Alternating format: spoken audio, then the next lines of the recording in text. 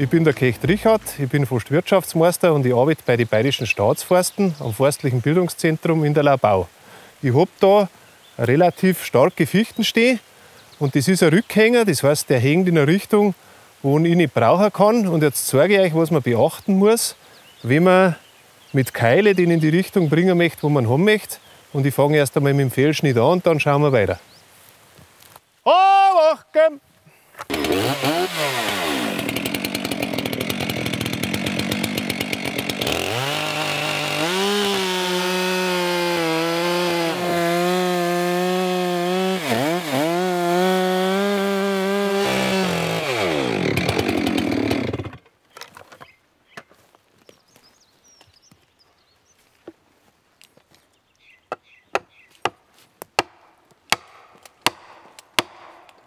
Gut, jetzt habe ich einen Fallkerb vorher schon geschnitten gehabt. Der ist eher ein bisschen klar genug.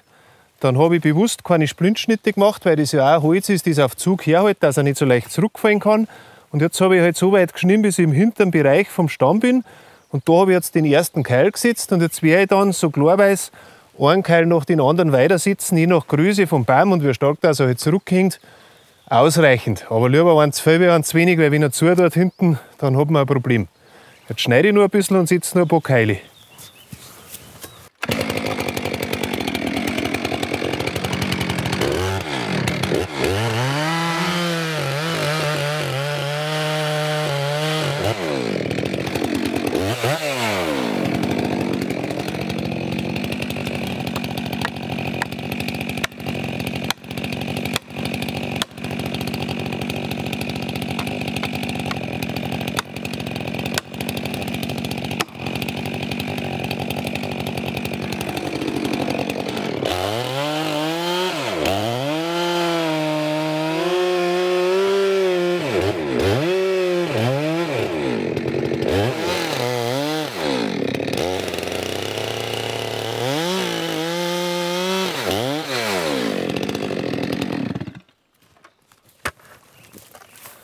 Gut, und jetzt, äh, jetzt kommt die eigentliche Keilarbeit. Und was jetzt da wichtig ist, ich habe jetzt drei Keile drin und es wird ganz oft der Fehler gemacht, dass ich jetzt auf einen fünf oder zehn Mal draufschlage, dann auf den anderen oft und auf den dritten. Da sollte man oft wechseln.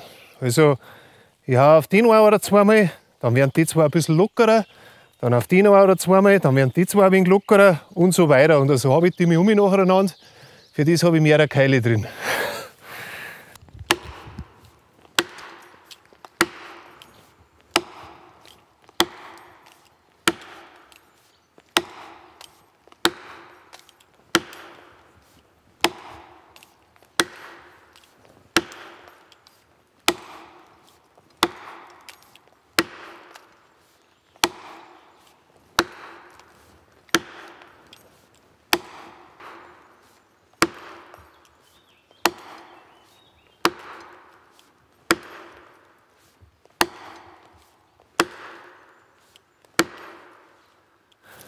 Irgendwas hat jetzt schon ein bisschen geracht, aber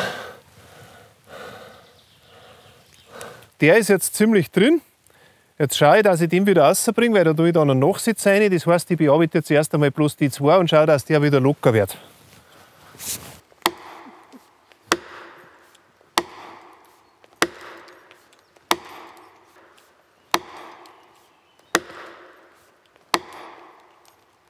Ah, geht noch nichts.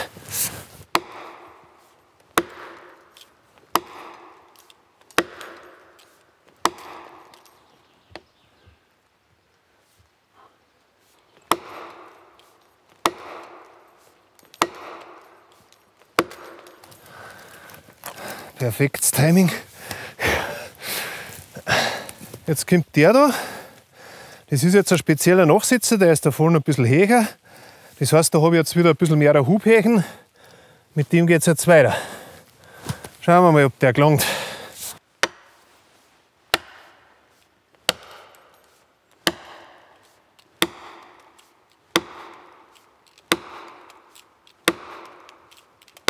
Mit dem Eindruck.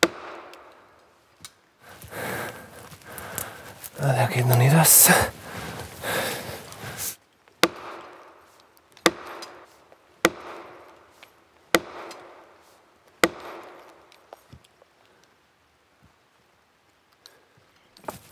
So. Und jetzt habe ich meinen Nachsitz auch drin. Und jetzt geht es halt los. Wie, wie macht man weiter?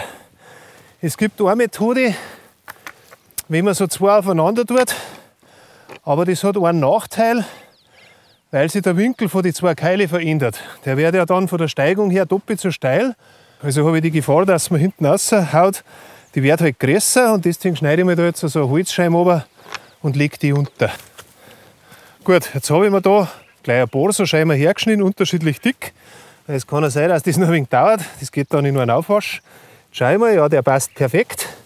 Jetzt tue ich halt am Anfang die Scheibe erst weit genug rein und dann kann ich wieder meinen Keil bearbeiten.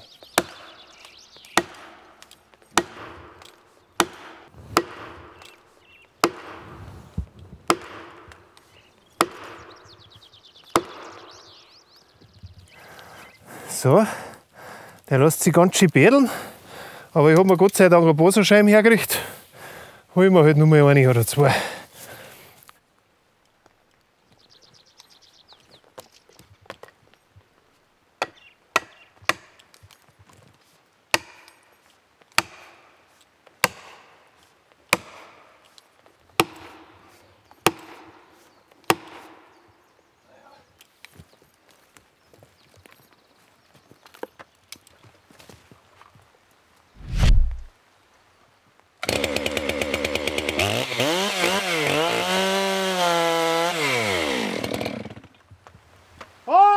them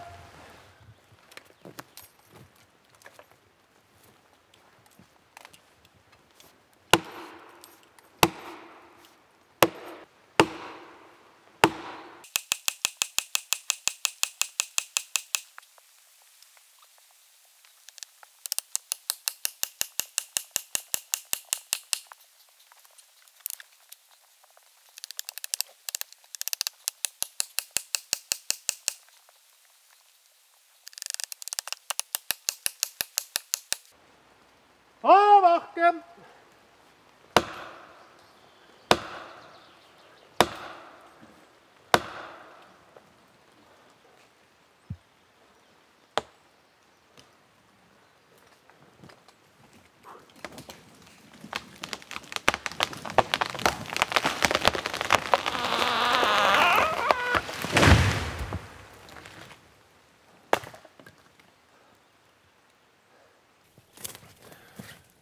Gut, liegen tut er. Der Stock ist mir nicht besonders gut gelungen, also da habe ich ein bisschen zwei Viere geschnitten. Aber das, was ich herzeigen möchte, das kann ich herzeigen. Wenn man den Stock jetzt so anschaut, dann schaut da auf den ersten Blick der Fallkerb relativ groß aus. Das täuscht aber ein bisschen. Ich zeichne jetzt einmal an. Weil wenn ich jetzt nämlich da mal so eine Linie mache, da muss man sagen, ungefähr da, in dem Bereich, ist die Stammwalze gar das, was außerhalb ist, also das im Grunde auch, alles, was außerhalb ist, das sind schon Wurzelanläufe und das darf ich auch nicht rechnen. Und von der Stammwalze her gesehen ist jetzt der Fallkerb eher klein.